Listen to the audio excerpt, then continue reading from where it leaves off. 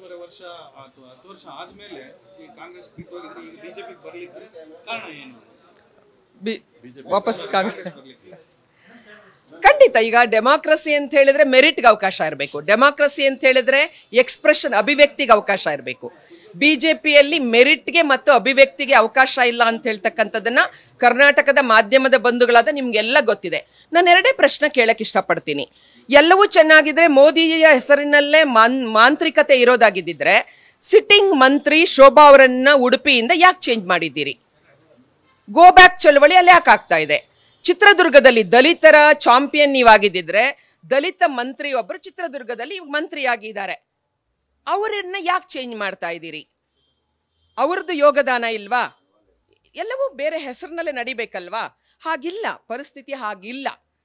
ಹಾಗಾಗಿ, ಕೆಳಗಡೆ ನಿಜವಾಗಲೂ ಫೇರ್ ಅಂಡ್ ಫ್ರಾಂಕ್ ಆಗಿ ಎಲೆಕ್ಷನ್ಸ್ ಆದರೆ, ಕರ್ನಾಟಕದಲ್ಲಿ ಇವತ್ತೇನು ನೂರ ಮೂವತ್ತಾರನ್ನ ಜಾದು ಮಾಡಿ ಬಂದಿಲ್ಲ. ಬಹಳ ಪರಿಶ್ರಮದಿಂದ ಬಡ ಜನತೆ ಮತ್ತು ಮಾರ್ಜಿನಲೈಸ್ಡ್ ಪೀಪಲ್ ಎಲ್ಲರೂ ಕೂಡ, ಎಲ್ಲ ವರ್ಗಗಳ ಜನರು ಕೂಡ ವಿಶ್ವಾಸ ತೋರಿದ್ದರ ಪ್ರತಿಫಲವಾಗಿ ಪ್ರಚಂಡ ಬಹುಮತವನ್ನ ಕಾಂಗ್ರೆಸ್ ಕಷ್ಟಪಟ್ಟು ಪಡೆದಿದೆ ಕಳೆದ ಚುನಾವಣೆಗಳಲ್ಲಿ ಅಂತ ಹೇಳಕ್ ಇಷ್ಟಪಡ್ತೀನಿ.